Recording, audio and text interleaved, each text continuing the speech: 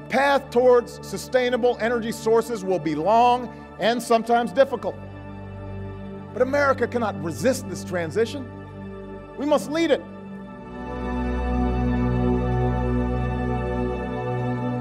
Fusion powers the universe.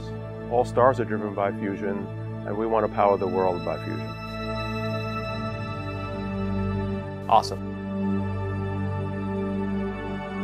Spectacular. It's game changing. Star power. Plasma. Energy. So you'd have an abundant supply of power available everywhere. You'd be able to generate enough electricity to get everybody up to the same standards of living, of health care. The energy of tomorrow is taking shape today at the Princeton Plasma Physics Laboratory.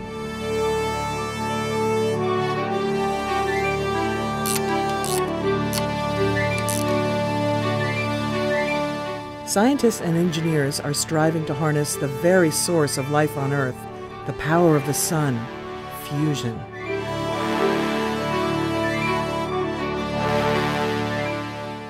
When isotopes of hydrogen fuse together, they release tremendous energy in the form of helium and a neutron. Fusion is a clean alternative to fossil fuels. And the fuel we need is cheap and abundant. The isotopes are in seawater. I have some bad news. You're working on a grant proposal for a new fusion reactor. I'm working on a grant proposal for a new fusion reactor. Pop culture loves fusion. Big Navy salute. Off the ground. After Apollo, fusion should be simple, right? We choose to go to the moon in this decade and do the other things, not because they are easy, but because they are hard. I would say it's a much more difficult mission than going to the moon. The challenge of developing fusion is probably one of the greatest science and engineering challenges ever undertaken. Imagine trying to imitate the sun in a bottle.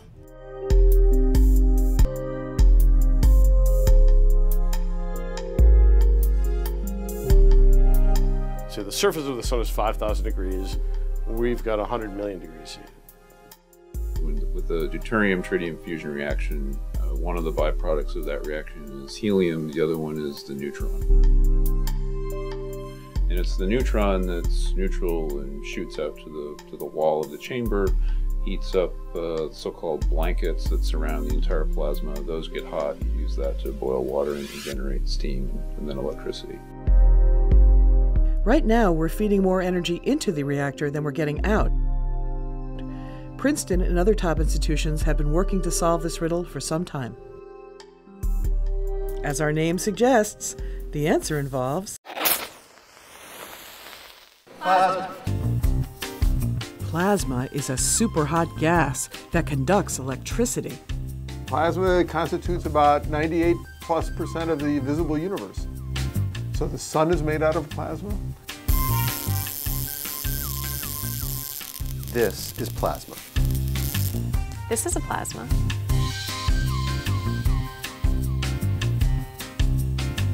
This is plasma.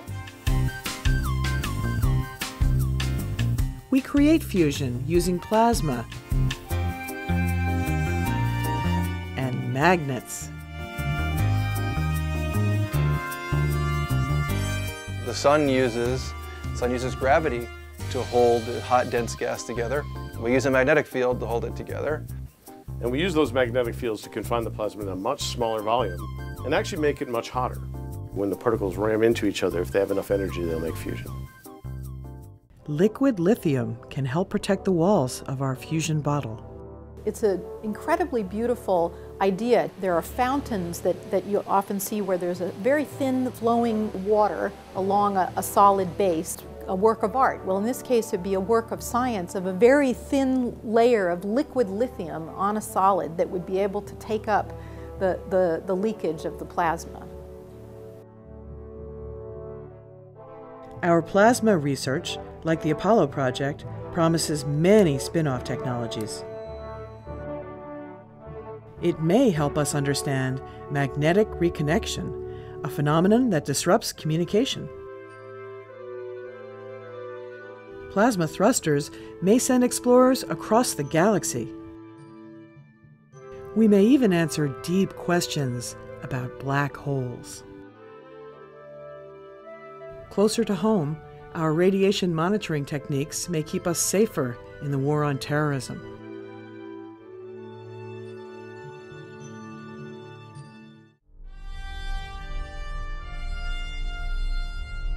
But our main thrust is a $94 million upgrade to a project called NSTX.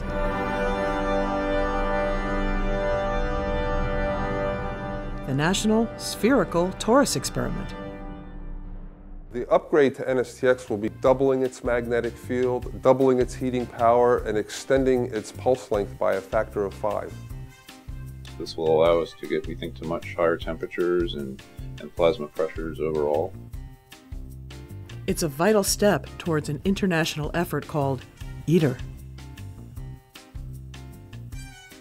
There has to be a lot of interaction between the various ITER parties for any of us to succeed. Even back in the days of the Cold War, the United States and the uh, Eastern world, Soviet Union, were working together on fusion. Fusion was something where scientists find common ground. Fusion is not a matter of if, but only of when. I cannot think of any other achievement that would exceed the impact of fusion energy because energy powers everything that we do.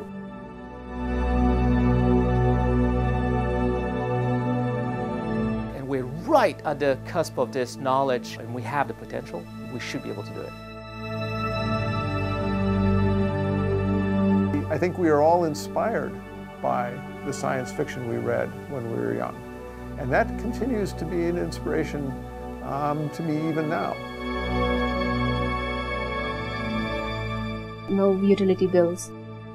That would be a good thing to think about. It would be impossible not to impact all peoples and all cultures with the success of fusion. I really, I want to fix the world.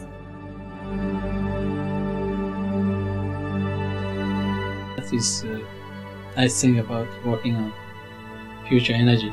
Energy can bring uh, happiness uh, to people. How often is it that you have the opportunity to work on something that is so important that it can actually make a difference in the way the world works?